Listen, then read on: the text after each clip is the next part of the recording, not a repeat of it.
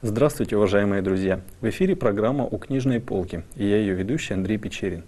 10 декабря 1956 года митрополит Вениамин Федченков писал монахине Анне Обуховой. «Я обещал вам написать ко дню моего пострига о чем-либо духовном. На вечернем богослужении в домовой церкви пришло мне желание написать свои воспоминания о прошлом, о том, почему я пошел в монашество. Потом я думал, что это немного несмиренно, особенно для монаха, но сердце мое не протестовало против прежде явившегося желания. Не знаю, как это объяснить. Если грех, да простит мне Господь. А если что-либо доброе получится, слава Богу. Вы же при своей снисходительности ко мне утешитесь воспоминаниями, а я и этому буду рад. Это письмо владыки предваряет одно из произведений, которые составили настоящую книгу. Она вышла в свет в издательстве «Правила веры» и называется «Письма о монашестве. Божьи люди».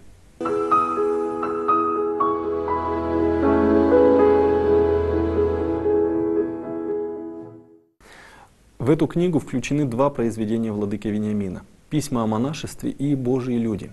В письмах он описывает свое становление в монашестве, показывая, как менялось его понимание монашеской жизни на протяжении более полувека.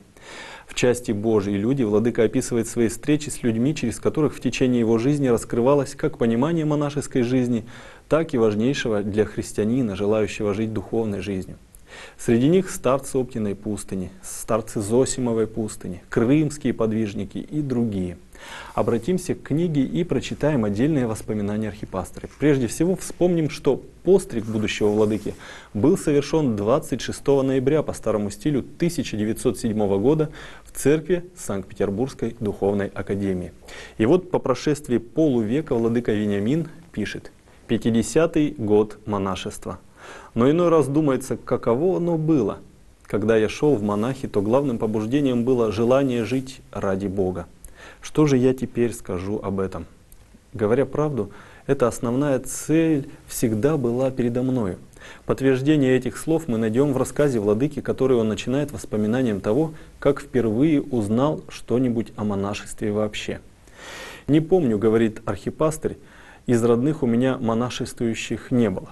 Монастырей вблизи тоже. В семье разговорах о монахах, монастырях не помню. Беседы бывали в доме о житейском, как бы учиться, кем потом быть.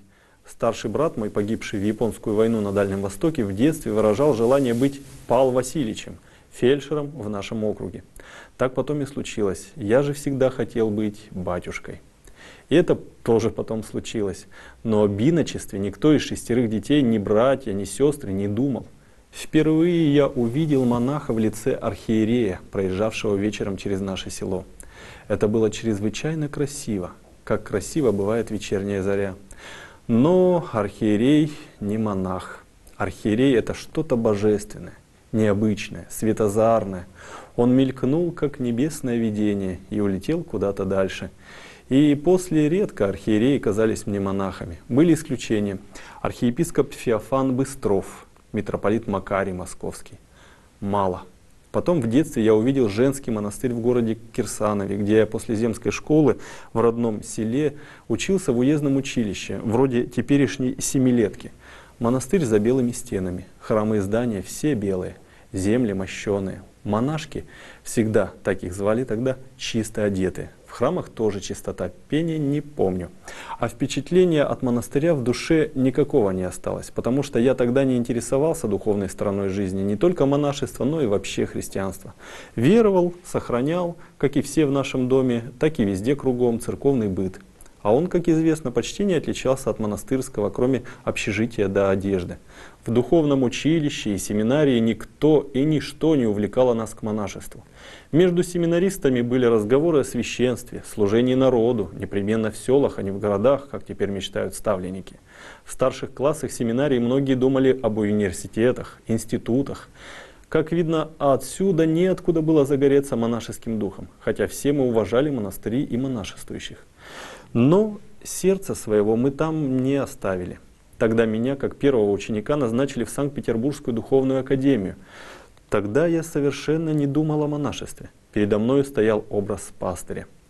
И я, если и думал, то о помощнице. Имелось в виду даже определенное лицо, что естественно при моих мечтах о пастырстве.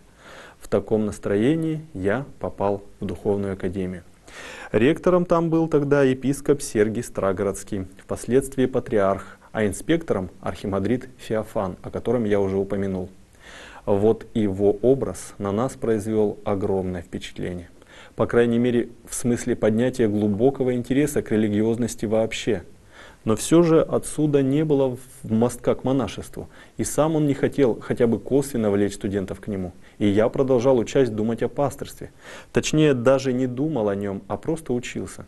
Так бы все, наверное, продолжалось, но случилось так, что будущий архипастырь, а тогда Ваня Феченков, не заболел какой-то непонятной и для академического доктора болезнью, не то малярией, не то тифоидом. Но только он должен был слечь перед Масленицей в больницу. И вот туда пришел навестить больного отец-инспектор. Как и почему у него родилась такая мысль, пишет Владыка, не знаю. Теперь хочу думать, что он имел ко мне внутреннюю симпатию. Приход его был для меня чрезвычайно отрадным. Не помню в какой связи, но он заговорил о святых отцах, об их важности, необычайной интересности и прочее. Скоро он ушел от меня и прислал, мне кажется, Яна Лествичника. Я начал читать и был поражен. В Лествице раскрывались жизненные и интересные для меня вопросы – Например, как достигнуть совершенства христианской жизни мирянам, почему совесть иногда перестает обличать нас, как бороться со страстями, каковы значение и сила монашества. Свет монахов — суть ангелы, монахи же свет для всех человеков. Это и многое другое узнал юноша, знакомясь со святоотеческими трудами. Чтение этих аскетических творений так сильно подействовало на него, что очень скоро Иван Федченков — почувствовал влечение к иночеству, никому не говоря о том, и тогда, как признает сам владыка, как-то удивительно быстро его мирские мысли и мечты отошли в сторону. В частности, мысли о пастырстве и браке. И постепенно стало нарастать стремление к Богу. Он начал сознавать недостаточность прочих идеалов, хотя бы и в хороших, вроде служения ближним. И во всяком случае ему стало совершенно понятно, что человека ничто не может удовлетворить, кроме любви к Богу. Однако, как отмечает архипастырь, чтение Писания отцов не дало ему окончательно ясного ответа. Знаменательное, почти чудесное указание пути произошло совсем неожиданно. Когда Иван был студентом второго курса Петроградской духовной академии, он с группой студентов, паломниками поехал в Аламский монастырь. Там юноша встретился с насельником Иоанна Притеченского скита, прозорливым старцем схемонахом Никитой, который прозрел его будущее.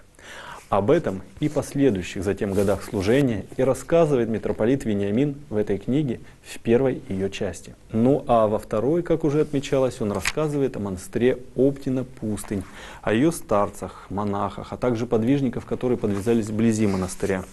Предваряет автор это произведение такими словами. Оптина. Так сокращенно называли обычно этот монастырь богомольцы. Подобно и Саровский монастырь звали просто Саров – Иногда к Оптиной присоединяли и слово «пустынь», хотя пустынного там ничего не было, но этим хотели, вероятно, отметить особую святость этого монастыря. Самое слово «Оптина» толкуют различно, но нам с духовной точки зрения по душе легенда, что эта пустынь получила свое имя от какого-то основателя ее, разбойника Опты – так ли это было на самом деле или иначе, но посетителям, да и монахам это объяснение нравится больше, потому что богомольцы туда тоже приходили с грехами и искали спасения души. Да и монашеское житие по сущности своей есть прежде всего покаянное подвижничество. Прославилась же Оптина своими старцами. Первым у них был отец Лев или Леонид, ученик знаменитого старца Паисия Величковского, подлезавшегося в Нямецком монастыре в Молдавии. После отца Льва старчество перешло к преемнику его, иеромонаху отцу Макарию Иванову, происходившему из дворян. Про него сам митрополит московский Филарет сказал однажды «Макарий свят». Под его руководством воспитывался и вызрел мудрый Амвросий, учившийся сначала в семинарии. Потом были старцы два Анатолия, Варсонофий из военной среды и отец Нектарий. Последнего, а также и второго Анатолия видел я лично и беседовал с ними – но кроме этих особо выдающихся иноков и настоятеля, и многие монахи тоже отличались высокой святой жизнью. Впрочем, и Оптина славилась на всю Россию именно духовным подвижничеством братья, что связано было больше всего со старчеством и, в свою очередь, воспитывала опытных старцев. О некоторых из них и пишет владыка Вениамин в своем произведении «Божии люди».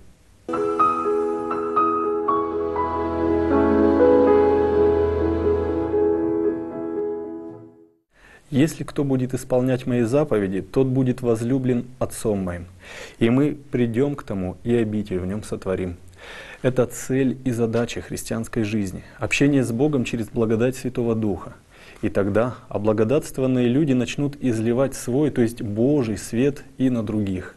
Говоря о святых подвижниках, о святых людях, митрополит Вениамин пишет, «Боже, как велики сами по себе и как чрезвычайно важны для других эти святые люди – Пришлось мне встречать в жизни своей так называемых великих людей, но никогда я не чувствовал их величия. Человек как человек, обыкновенный. Но вот когда приходилось стоять перед святым, тогда ясно чувствовалось действительно величие их. Вот это необыкновенные люди. Рассказы о них, а также о монашеском пути и сохранил автор для нас в своих произведениях, которые собраны на страницах этой книги. Дорогие друзья, на этом наша передача подошла к концу. О новинках православной литературы спрашивайте в церковных книжных лавках. А я прощаюсь с вами. Всего вам доброго.